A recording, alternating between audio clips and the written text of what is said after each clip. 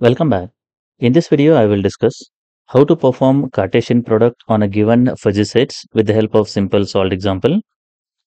In this case, we have been given uh, two fuzzy sets A and B. The fuzzy set A contains uh, three members x1, x2, x3 with membership values 0.3, 0.7 and 1 respectively. The fuzzy set B contains two elements y1 and y2 with uh, membership values 0.4 and 0.9 respectively.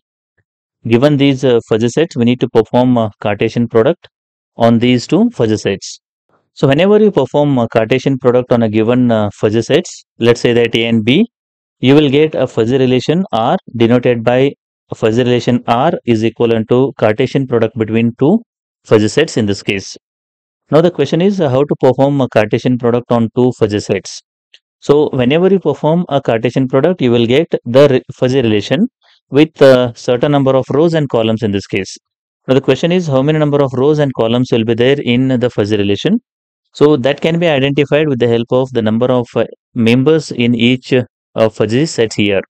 So in this case, the A is a first fuzzy set. There are three members are there x1, x2, x3. So x1, x2, x3 will be the rows here.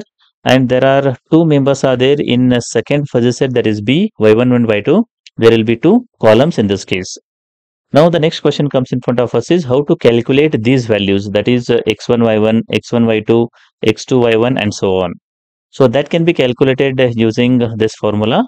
The membership value of this fuzzy relation where x1, y1 this value if you want to calculate minimum of the membership value of x1 in fuzzy set A, y1 in B here. So what is the membership value of x1 in A? If you go and check it here, the membership value of x1 in A is 0.3. That is what I have written here. Membership value of y in uh, fuzzy set B is 0.4 here.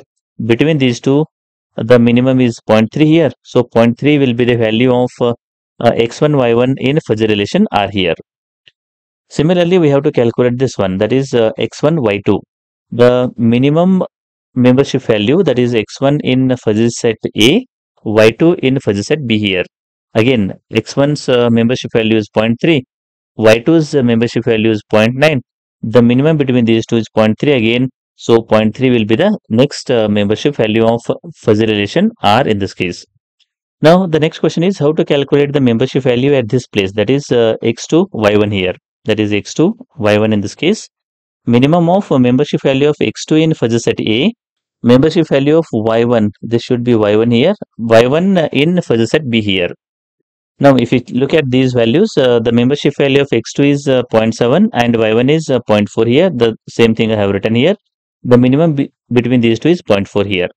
Similarly, we have to calculate the membership values of uh, fuzzy relation at x2, y2, that is this place, uh, that is equivalent to 0.7 here, and x3, y1, this one, that is equivalent to 0.4, and x3, y2 is equivalent to 0.9 here. Now, once you calculate all these values, we need to put it to this uh, fuzzy relation. The fuzzy relation contains, we can say that uh, the six uh, elements.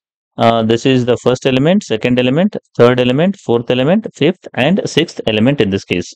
And these are the membership values of those six elements in this case. So this is how we can perform the Cartesian product on the given uh, fuzzy sets. I hope the concept of uh, Cartesian products in fuzzy sets is clear. If you like the video, do like and share with your friends. Press the subscribe button for more videos. Press the bell icon for regular updates. Thank you for watching.